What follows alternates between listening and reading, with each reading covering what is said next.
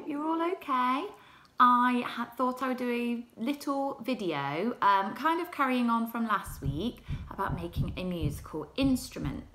Okay, so this is a different musical instrument to the one that I made last week with the girls. So, um, what you're going to need is a pair of scissors. Um, you are going to need a grown-up to help you with this. Two paper plates. Me just oh, telling me my battery's to run out soon. Two paper plates, a wooden spoon, some string, or I've got kind of embroidery thread there, I borrowed from school, some kitchen foil, some sellotape, and some crayons or pens or something to decorate it with. So this is how it works take one of your paper plates and you're going to sellotape your um, wooden spoon into the middle like that. Okay, so I'm going to pop it down while I do that. Um, oh, find the end of my sellotape. So I'm going to pop the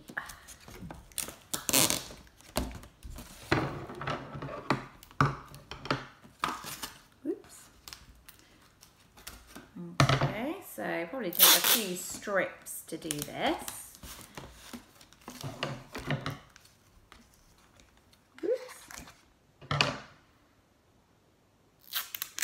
Um. Okay, so now you have your um, paper plate attached to your spoon like that. So the next thing that you're going to do so that it's this side, it's the, um, the inside that you've taped your spoon to. You're going to match the plate to the outside like that. Okay, match the plate to the outside. And then just using little bits of sellotape, put some on the edge of my table. So I'm going to put it on the edge of my table just so that I know I've got lots of little strips. And we're going to attach our two piece, uh, our two paper plates together. So, just, so you're going to put your little strip of sellotape around like that, kind of all the way around little intervals to hold it tight. Like I say, you're probably going to need a grown-up to help you with this it's just a little bit fiddly.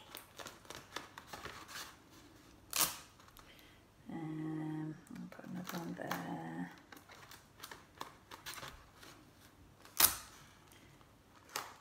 There we go.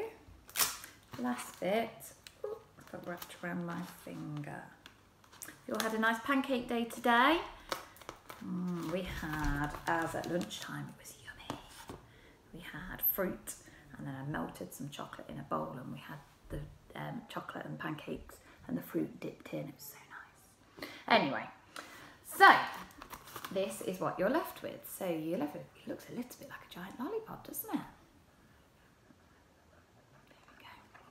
There we go.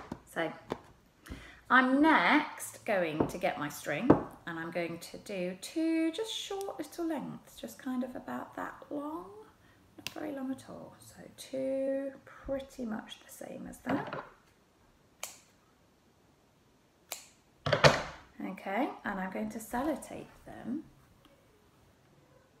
one on one side and one on the other. Find end of my sellotape again. I should never put it down because I just lose the end all the time. Oh, there we are. I'm to put a few more strips on the edge of the table. Don't tell Mr. Lamb.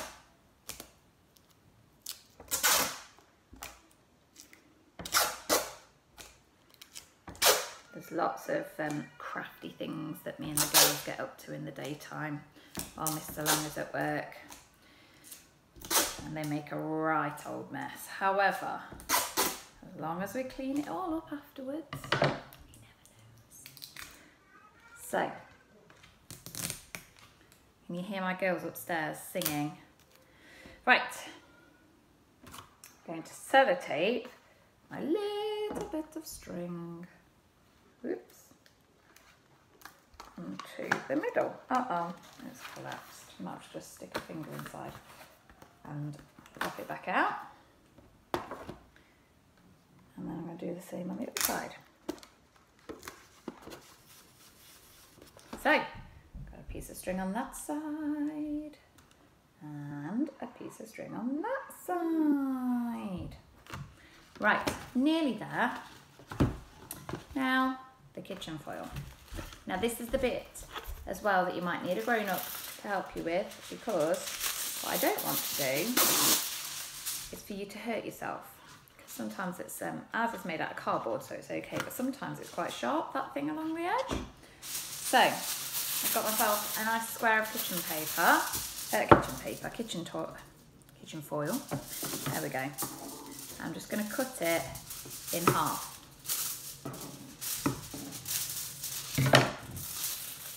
Like that. And then,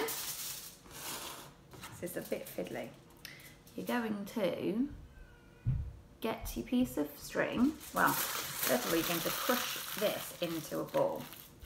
Quite a tight ball as well, so that it's quite, quite hard. And then you're going to use some more sellotape to sellotape your ball of foil onto your little string. Okay.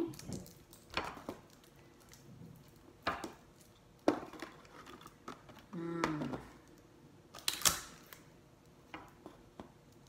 There we go. So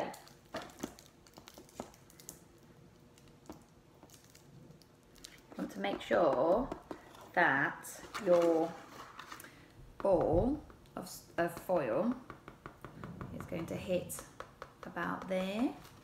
So you keep putting um, the tape on just to make sure it's nice and secure.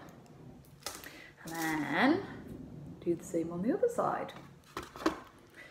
And my second piece of foil. Nice tight ball, like that.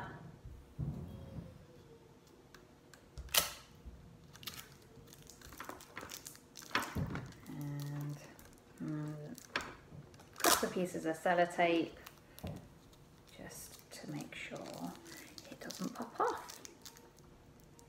And then the very last thing to do it. I'm, going I'm not going to decorate mine for you um, just because it take ages and already you've been watching me for nearly 10 minutes. So I'm sure that you want to get, get on, crack on with your instruments. Right, so your new instrument looks a little bit like this. That on that side, that on the other side. Are you ready? This is how you play it. You move it in between your um, hands like this. So you get the wooden spoon handle and you move it and then you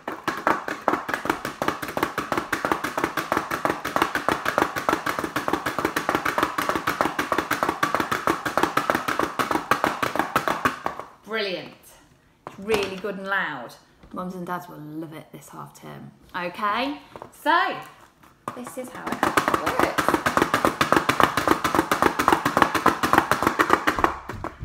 Brilliant. And yours are going to look really exciting, all decorated. Brilliant. I can't wait to see what you've been doing. I can't wait to see your musical instruments. And um, I hope you're having a lovely half term. And I hope that you're finding plenty to keep yourself occupied. Remember, listen to your grown-ups. They're trying their hardest. It's hard work at the moment being a grown-up, so help them out. Listen. Be on your best behaviour, okay? especially this half term. Half terms are hard, especially after what we've all been through this hot, this term. Okay, so have fun. Show me your instruments that you make. See if you can make yours look a bit more exciting than mine does at the moment. I'm off to decorate mine. But I can't wait to see your photos. Take care and I shall see you again soon.